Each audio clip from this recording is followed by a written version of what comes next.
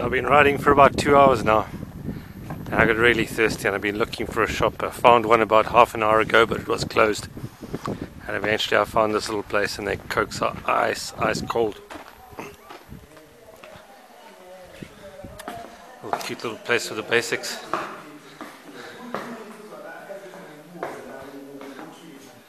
Some groceries and a fridge some cold beers and cold coke always.